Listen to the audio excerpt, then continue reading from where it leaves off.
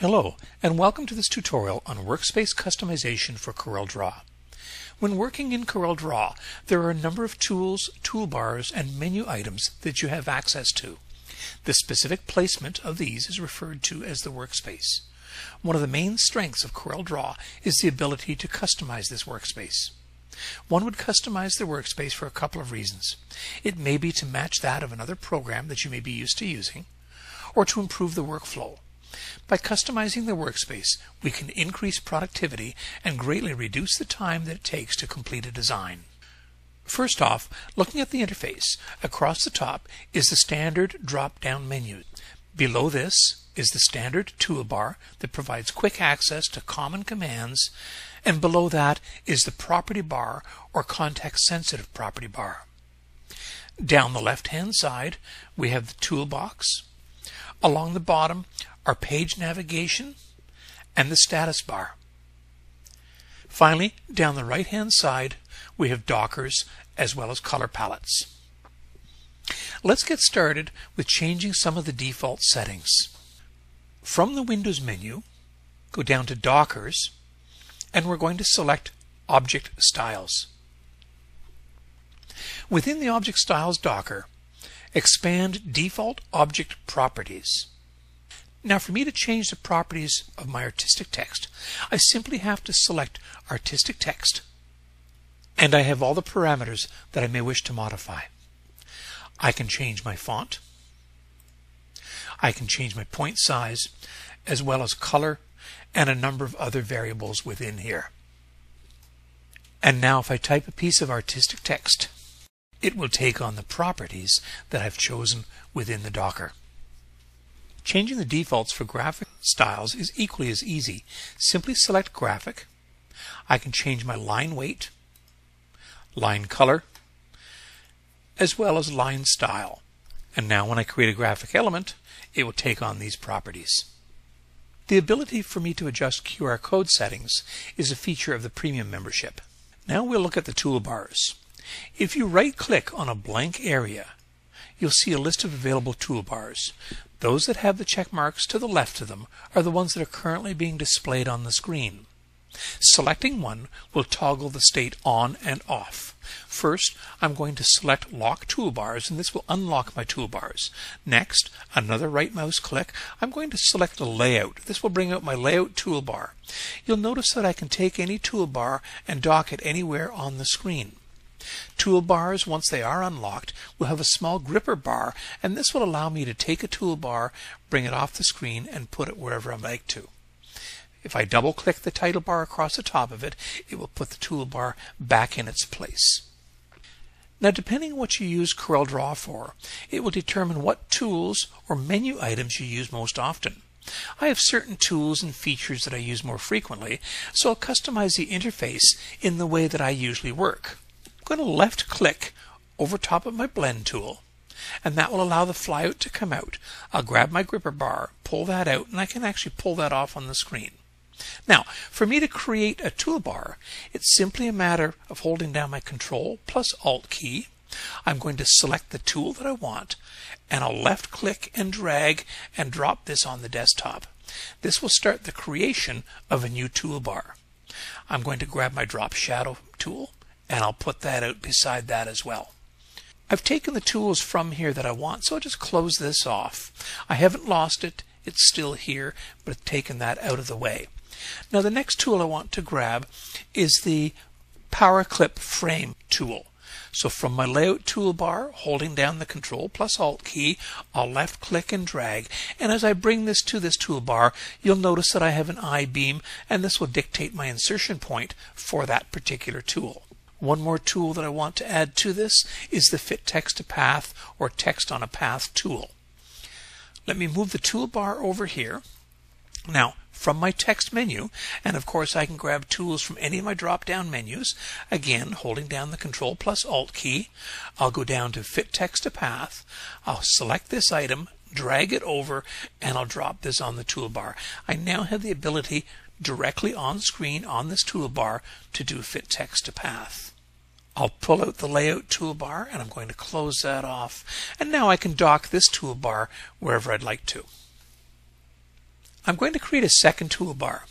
Now, when I draw an object with my freehand tool, once the object has been created, you'll notice on my interactive property bar that I have certain settings that I can use to modify this line style. I can make it a hairline, I can change the point size, and that sort of thing. If I need to change line styles when I have multiple objects selected, I'll need to create a toolbar for that. Simply select a single line style, and again, holding down the Control plus Alt key, I'm going to drag these elements right off the toolbar and create a new toolbar that I can then use. Simply a matter of dragging and dropping the elements that I want. Now one other element that I'd like to add to this new toolbar is the outline pen color. So from the Tools menu down to Customization, I'm going to select Commands and then within the Commands drop-down I want to select Fill and Outline. I'm going to scroll through here and I'm going to select my outline pen. These are in alphabetical order. Here's my outline pen color, so I'll drag and drop, and I'll just put this into my new toolbar. I click OK, and I've completed that. Now for me to change multiple line styles at the same time, it's simply a matter of selecting those objects, and I can come through here and pick whatever features that I want to give that. It's as easy as that. Let's just dock this up onto my standard toolbar and we're ready to go on to the next area. Before I do, let's see how easy it is to use my new toolbar. I'll delete these elements, select my piece of text, I'll turn this into a power clip frame, and now it's simply a matter of dragging and dropping on top of this piece of text. I can hold the control key down, click on the text and do my editing, control click outside of that. Next, what I can do is I'm just going to draw a quick little envelope in this. And we'll add a drop shadow. Very quick, very easy. I've been able to create a nice little effect by using a simple toolbar that I've put onto my desktop. Now, let's move on to the next area. We're going to take a look at some keyboard shortcuts. From the Tools menu, go down to Customization, select Commands, and then select shortcut keys. To create a keyboard shortcut is simply a matter of selecting the item that you want to apply the shortcut to and simply assigning the proper keys. Now quite often I'm dealing with uh, editing nodes and I have to toggle back and forth between wireframe and enhanced view. So if I go to my view menu, in here we'll see those two elements. One is wireframe, and of course to go into wireframe, I like to use the letter W. It's easy to remember. I'll simply select Assign.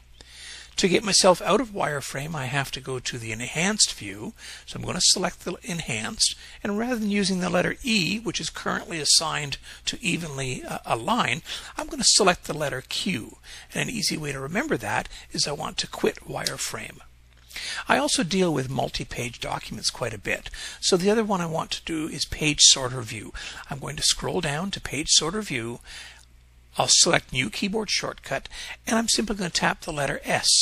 I don't want to use P because that's currently assigned to center of page. And I'll simply click the assign button. That's all there is to it. Very easy to create keyboard shortcuts. Other keyboard shortcuts that you might want to do is the letter G for group the letter U for ungroup, or if you're used to Adobe Illustrator or another application and you're used to the keyboard shortcuts used there, then of course you can certainly uh, define those in uh, CorelDRAW when you do your customization. I'm going to simply select OK to this. And now you'll see that if I hit the letter W, I go into wireframe, Q is quit wireframe, and of course S is going to take me into page sorter view. And finally, we want to be able to save the current customizations, not only to reload on another system that we may have, but we can also use it to send to our colleagues. From the tool menus, select Options. I'm going to highlight the word Workspace, and you can see here I'm currently using the default workspace. I also have the ability to select an Adobe Illustrator workspace that comes with CorelDRAW when you first install it. Instead, what I'm going to do is I'm going to select my X6 default workspace.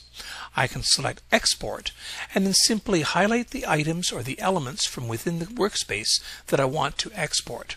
I have the ability to save this as a file or email it. Of course, if I select email, it's going to launch my email package and it's going to allow me to send this out. Simply a matter of creating the file,